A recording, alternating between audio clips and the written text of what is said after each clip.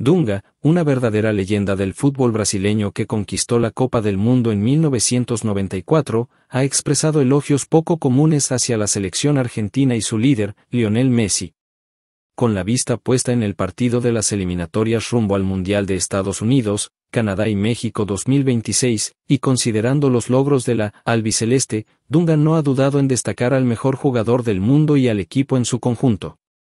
Además, ha compartido sus opiniones sobre Neymar y los desafíos en la selección brasileña.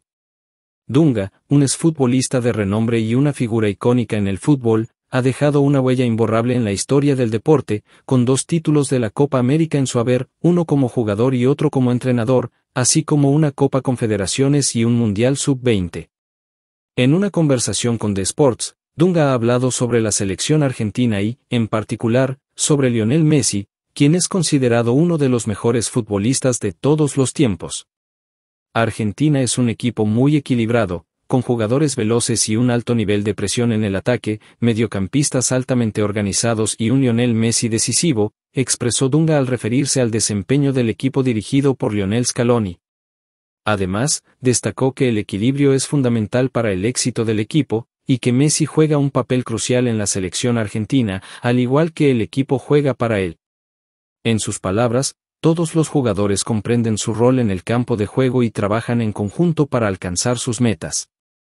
Dunga también estableció un paralelismo entre Lionel Messi y Neymar, dos de las estrellas más destacadas del fútbol mundial.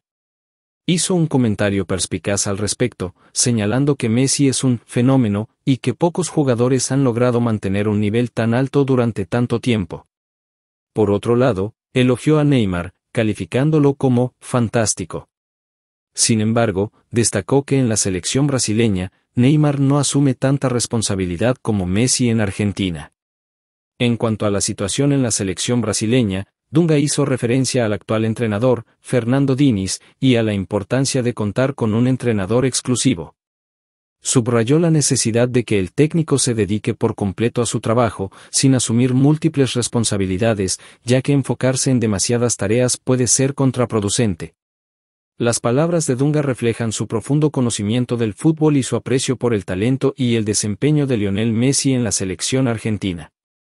Además, su análisis proporciona una visión interesante de las diferencias en la dinámica entre Messi y Neymar en sus respectivas selecciones nacionales, así como la importancia de la dedicación exclusiva por parte de los entrenadores en el éxito de un equipo.